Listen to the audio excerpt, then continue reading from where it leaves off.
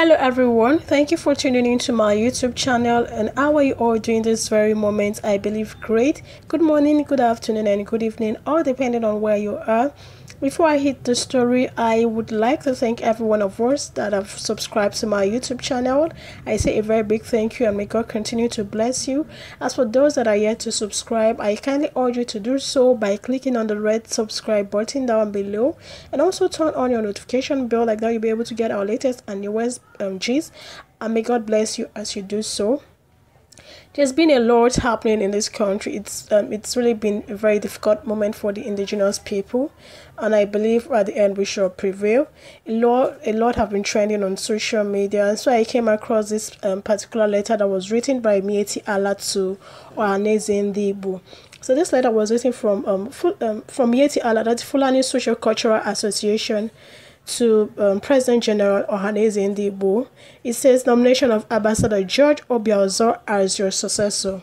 Just to let you know that the leader of the indigenous people of Biafra, in person of Mazi Nnamdi Kanu, have been right all along. He said the Fulanis are coming, they are coming to take over our lands, they are coming to rape our women, they are coming to desecrate, desecrate our land. Now, there's this particular broadcast he made that was on the. Um, he's been saying this in almost all his broadcasts, but there's this particular one he made on um, on the 6th of February 2014, and I am going to quote him.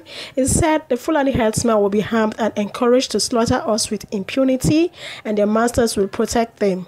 They are coming to ensure that our people are enslaved forever. Those who do not believe me will soon see it happen before their eyes. They are coming to elevate our Fulani supremacy to reposition the security agencies by sacking all competent hands and replace them with their kinsmen to drive their ethnic domination of the Biafrans and other tribes in Nigeria. So this was said on the 6th of February 2014. You can go to Radio Biafra app, you can go to um, IPOB community app and look for this particular broadcast and so you will understand what he has been saying. So it's really a very shameful thing for the Ohanaeze Ndigbo that Miyetti Allah, Miyetti Allah, Fulanis that are foreigners in this country are giving them order on how to live their life. They are debating for them um, on how to actually run their own affair.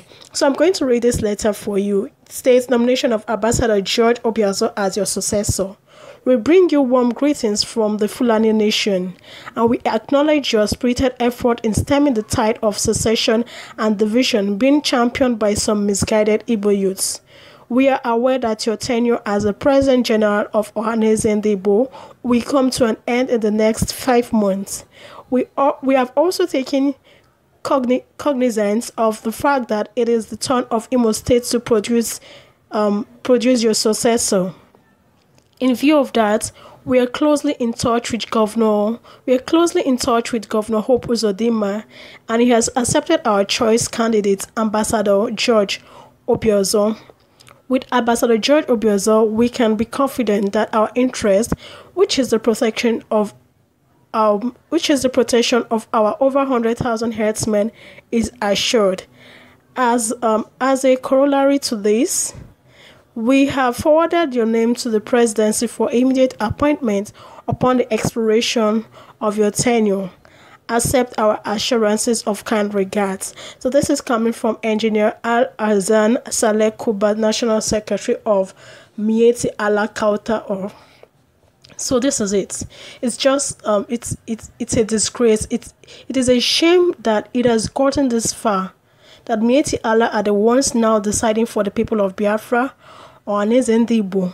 Nnia Nwodo should be ashamed of themselves for selling their people for a pot of porridge how can how can they how can they even allow this happen? The truth of the matter is that the um, that Biafrans are going home, and there's nothing anyone can do about it. What is life without freedom? And that freedom is exactly what we are pursuing, and we must actually get. And also, just to let those traitors, just let those traitors know that whatever they are doing, there's always a consequences for their action.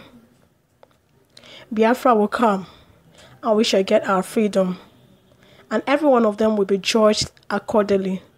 So that's what I have for you today. You can share your comments, you can air your views, you can, you know, make your points.